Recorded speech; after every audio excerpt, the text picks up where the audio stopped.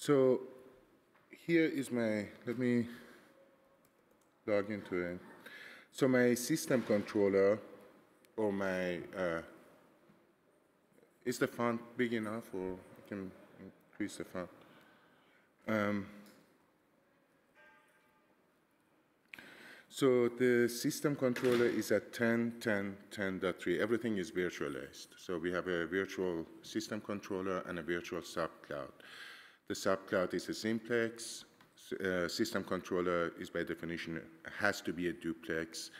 I have only one of them running right now, mainly because the system that I have doesn't have enough uh, resources to run that. It's a 10-year-old laptop, um, which basically says that on, an, any recent build server, you should be able to have a complete duplex running as well as a simplex to play with the um, distributed cloud.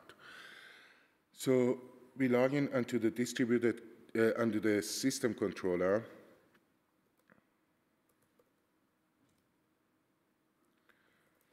And as a first thing, always we do a system host list, and it comes back. The degraded here basically says that uh, it's because one of the controllers is down. But uh, from a system controller perspective, we have to have two because it has to be HA. There has to be redundancy. Um, the way we access the, DC, uh, the subcloud, or we can display the subcloud, is with subcloud list, DC subcloud list. And what you notice here is that it's online and it is in sync, right? And if we now go to the subcontroller, a subcloud,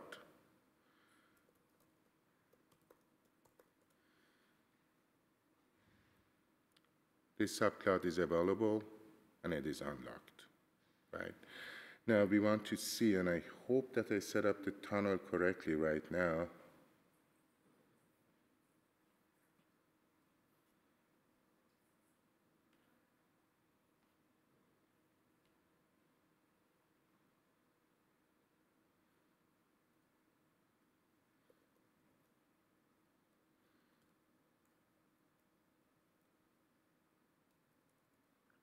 Was that again?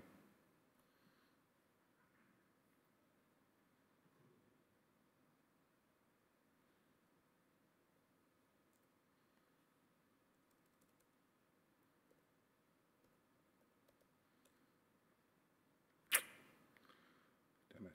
I cannot get to it.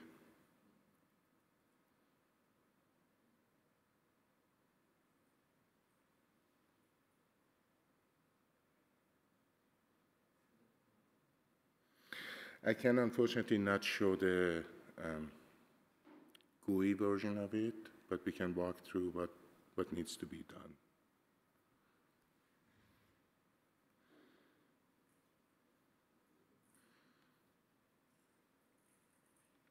So a couple of things I want to emphasize, put the emphasis on. Um,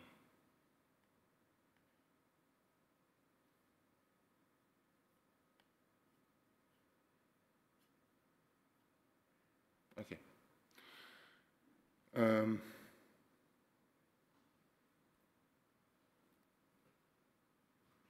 okay. So starting point. Uh, StarlingX, as, as we all know by now, is an integrated system. It's a fully integrated system, meaning that the Linux kernel, open source software, root file system, along, along with Starling X components, as well as the uh, Kubernetes portion of it, have all been integrated into a single image, into a single ISO image that you get to uh, use to install uh, the first controller. Uh, documentation of that, where to start, uh, the documentation build guide, it's a very good build guide. Uh, I mentioned that, um, yeah, I have that here. Uh, the build guide basically goes through the build. You use the same uh, and requires you to download and use the uh, StarlingX tools project. Uh, the Starling X Tools project gives you a number of uh, features. One of them is the StarlingX Build tools, which gives you a consistent, um, a consistent software development environment for a specific version of uh, the tools. Uh, the advantage of that is you always link, you always have the right tools. You're building the StarlingX from the, using the correct tools that everyone else is using. Uh, it also has a deployment examples and deployment tools uh, that, we, that I am using here. Uh, the deployment tools give you by default a duplex or a simplex model. Uh, you can extend those uh, with um, work, uh, which you can extend with worker nodes, storage nodes, whereas in this case with uh, uh, in a we are extending that with a distributed cloud. Basically, what we do is, um, and here's the, here, I, I, referred to this earlier today. So, uh, what the StarlingX tools gives you on the right is the central controller. That comes with the, uh, um, that comes with, uh, from the tools. We are not adding any modifications to that. Uh, to the left, we have the subclouds. Again, comes it's a simplex. Again, comes it comes by default as is from the tools. Uh, no, no modifications needed. The plumbing in between is to turn this to, to connect this to via a gateway. I'm sure that there might be another better way than what I have done here. Please let me know. Um, but by doing this, we basically put them on two different subnets routable, and turn one of them into a subcloud for testing, for validation, or just to play with them.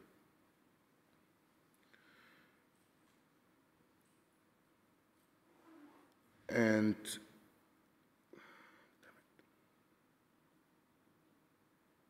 I wish I could get this to work now, but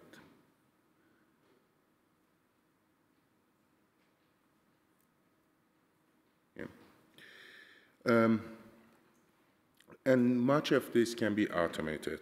So if we go to uh, step screen zero, um, from here, I wrote a small script. So the README file in this directory, basically uh, in this project of this, oh, shoot, okay.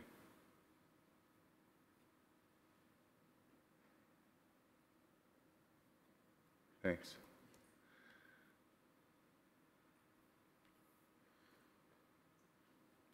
Means I have to turn around here.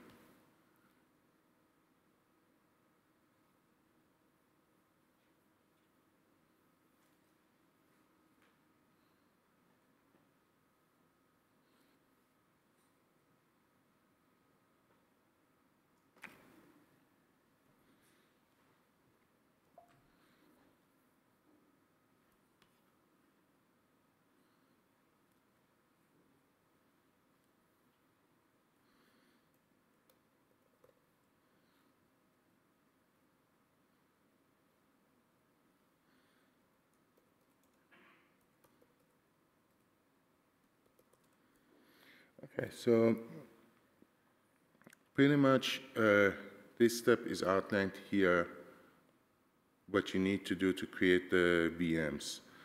Uh, simply, uh, you do simply an export, you give the a bridge name, uh, the name of the bridge, uh, and you set the IP networks for the uh, that you want your controller or your system cloud to have. Once you have this, which is essentially what we are doing here. So there are two steps in this. So you start off with the export, then you set up the network, and you set up the configuration. Setup configuration is going to uh, run through and uh, you set up the configuration by giving it the ISO image. In this case, I'm using the default StarlingX image. And uh, you basically tell it what you want it to be, a duplex or a simplex. We do this twice, and after that, uh, the rest of this script, it will be part of the PowerPoint. Uh, it will be posted, which you can download. Going through the installation, one second.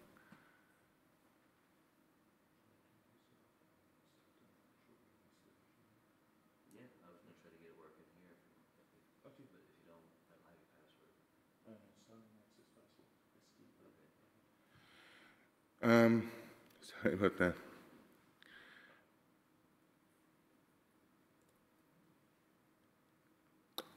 So let's go ahead through the process and create an, a simplex and see, about, uh, see the installation and that.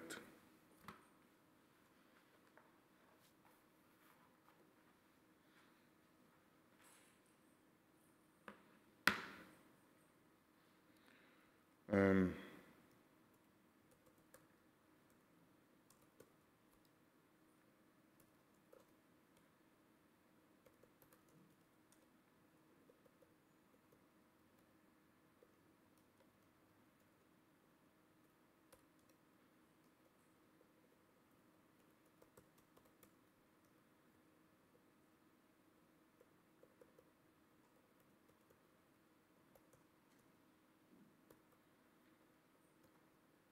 okay.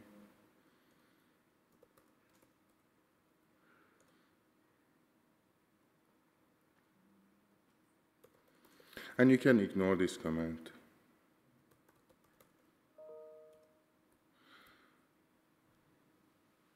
So let me. So when you first boot it, when you first put in the ISO image, there are three options that you have, standard controller, all-in-one controller, as well as all-in-one low latency controller configuration.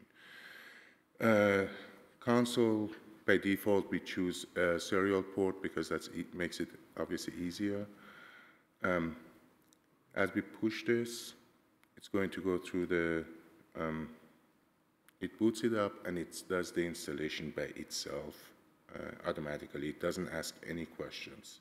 And that is mainly because uh, in, a, in an environment where, in an IT environment, you want to make sure that once it is installed, it is fully automated. On this screen, you can move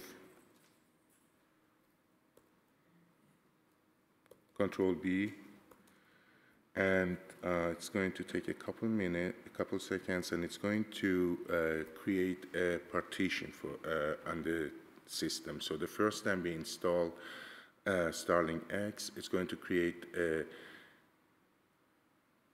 partition that will not be touched on any subsequent installation. That partition is platform backup. Um, we can use that to uh, store container images, um, uh, container images that are used by the, uh, during the bootstrap process uh, to speed it up. So we download, Uh, uh, if I'm not mistaken, it's somewhere between, depending on the uh, system that you're installing, we can download, uh, the download size can be up to a few gigs, which can be difficult in case of low um, low throughput network. So that's why we have a pre-staging or a platform backup, which is here. Now, once that is installed, and this installation will take a little bit time, let me see if I can get the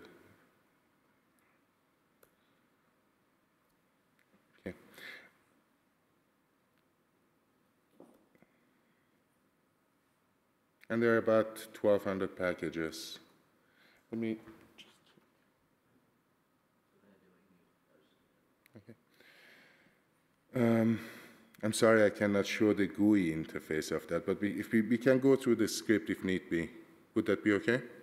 Or if you have any questions at this point, we can dive into answering, I can dive into answering questions.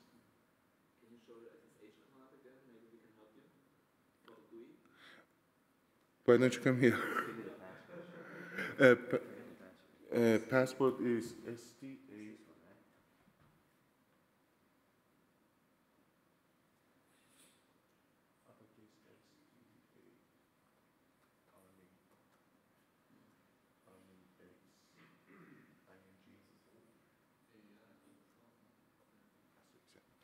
Uh, the SSH command is here.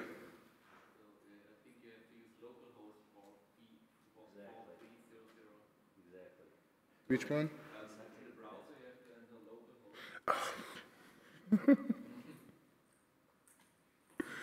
yeah. Then you need to have a proxy server on your, on your, log, log me in. That's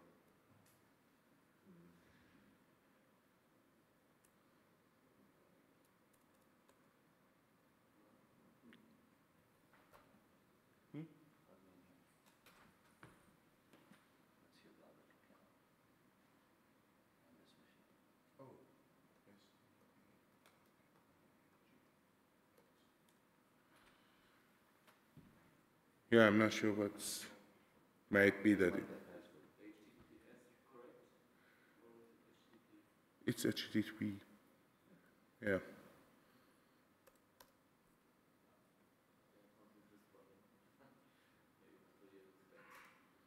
Yeah, unfortunately. I could get it here if I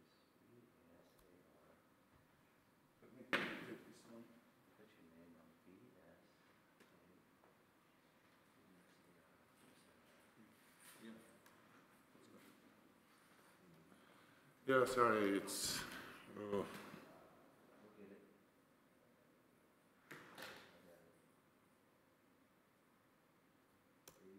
Yeah, it's okay. I'm working on that one.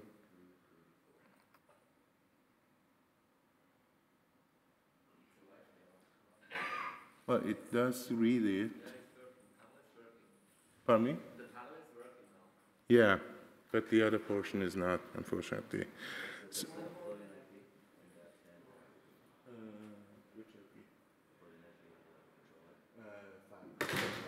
Ten dot ten dot ten dot five. Uh, no, five thousand.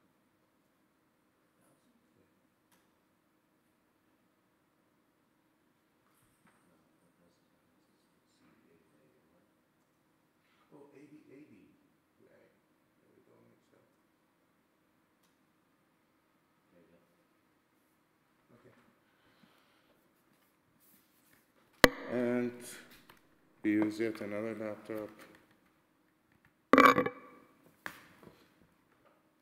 Okay, thanks.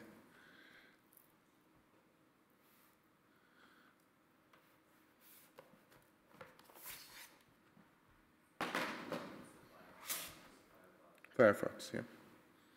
Okay, so um, finally we made it. Thanks, uh, Eddie. Um, ST8RLING.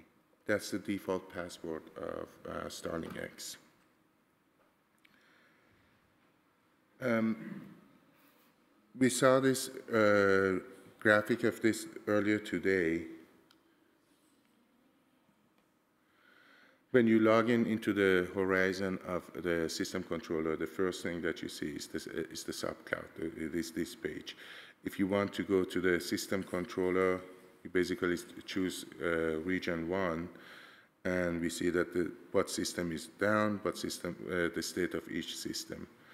We dive into that system, and you know this information probably much better than I do. But what it also does is, from a subcloud perspective, so once we log in onto the subcloud, we can see that the subcloud is ever completely in sync. It is online, but and that we can dive into the host detail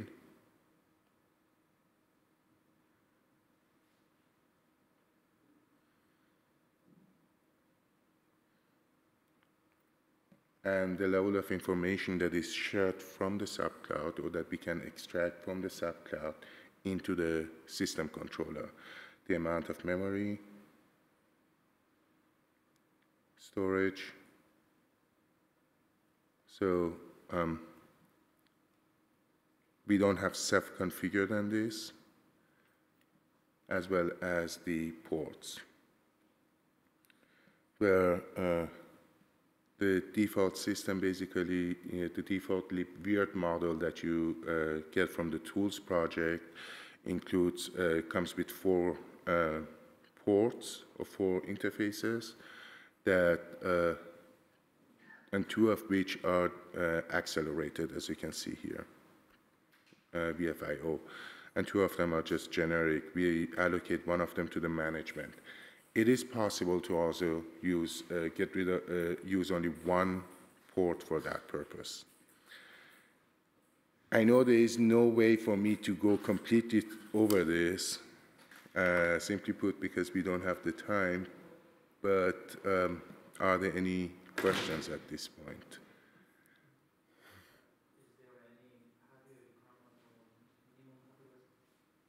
Sorry, I didn't hear. A requirement for? Oh, hardware requirement. Um, the default hardware requirements for uh, StarlingX are outlined, basically, but um, are outlined on the StarlingX page. It wants you to have a number of disk uh, storage uh, devices, like uh, 500 gig for the primary, and if you want to use Ceph, uh, it recommends to have another two uh, NICs, uh, another two SSDs 200 or 250 gig each, or depending on how much you store. You can, however, install without Ceph, and you can reduce the size of the primary disk. Uh, memory requirement for the um, for each VM is about 18 gig. Um, again, that is something that can be played with. Um, and uh, The interfaces, uh, here the interfaces are uh, virtual, but you can always pass in uh, physical interfaces. You won't have SRIOV, or you will not be able to create SRIOVs, but you are able to pass in um, uh, physical device, create a PCI pass-through. That would be one and you can do the same thing not only just with NICs, but also with other devices like you can GPU, you can pass a GPU as well.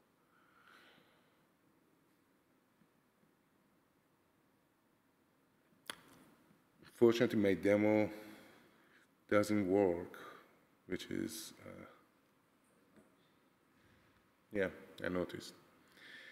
Um,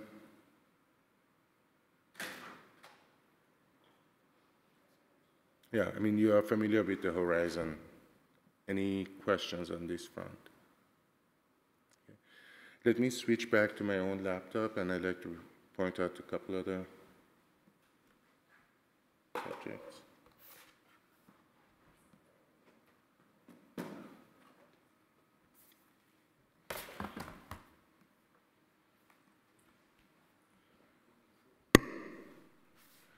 So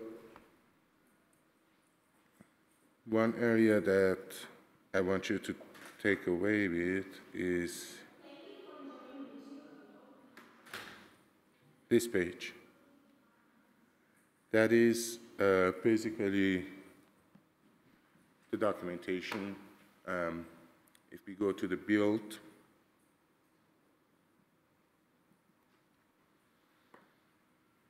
it's a pretty good uh,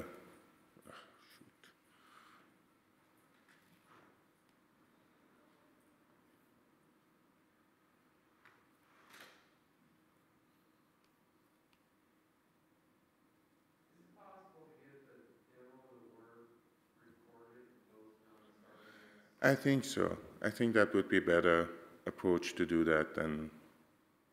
Um, but, uh, and I will do that.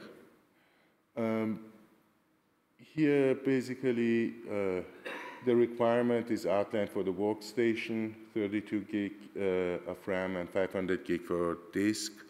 That is for the build. So pretty much the same system can be used for uh, running the test or for playing with, uh, with Starling X uh, installation. Um, once the build is completed, it produces a boot image image.iso. Uh, takes a little, a little while for it to complete, but it produces a boot image.iso that you um, that you will need to uh, pass in using the script that I pointed out. And I will post everything on StarlingX or via PowerPoint. Yeah. Um,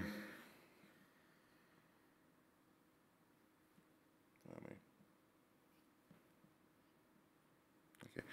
I can unfortunately not complete the demo, but uh, that was one that I wanted to show. Then the other thing that I wanted to show uh, is the download page that is this guy.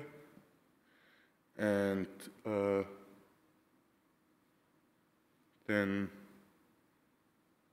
Starling X documentation is also pretty good documentation that you can um, that outlines pretty much where I get most of my info from.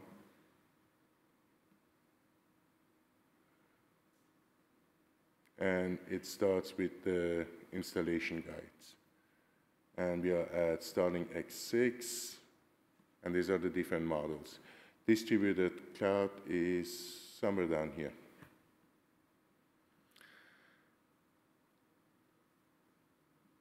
Okay, so.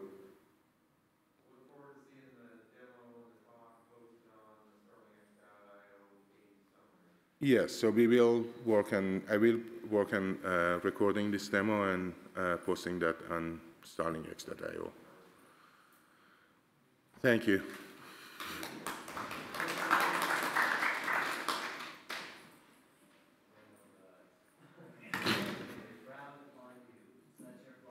It's all my fault, I know.